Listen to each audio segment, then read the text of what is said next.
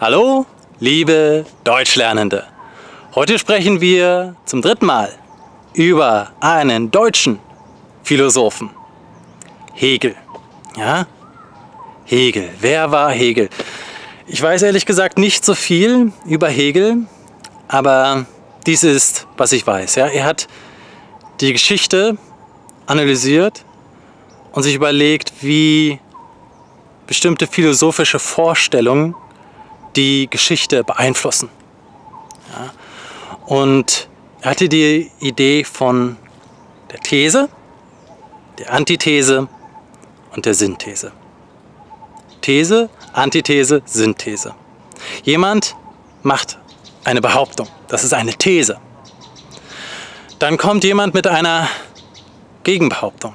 Er behauptet praktisch das Gegenteil, das ist eine Antithese.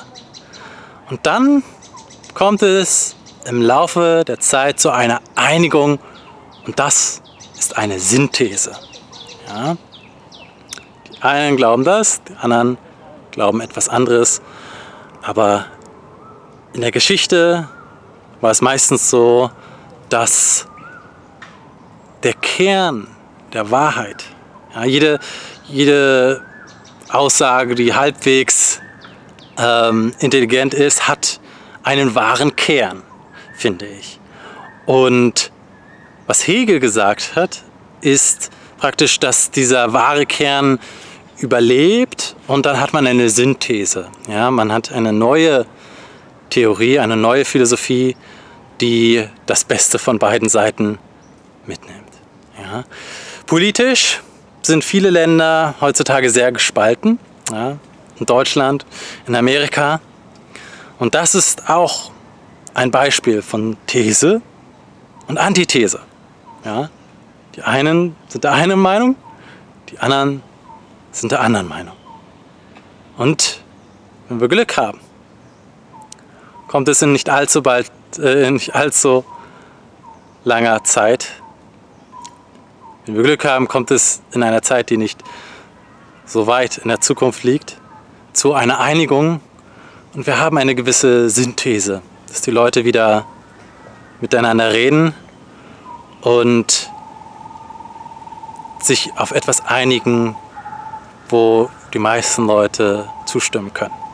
Ja, das hoffe ich für Europa, das hoffe ich für Amerika, dass wir eine Synthese haben.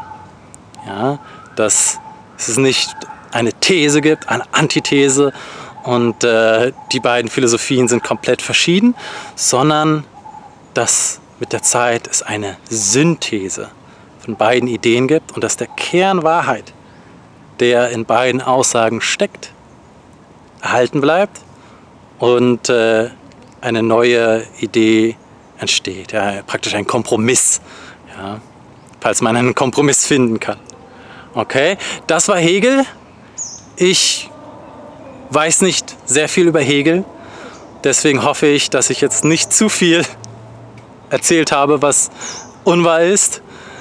Wenn du mehr über Hegel, Hegel, wenn du mehr über Hegel erfahren möchtest, dann lies lieber Bücher über Hegel, anstatt auf mich zu hören.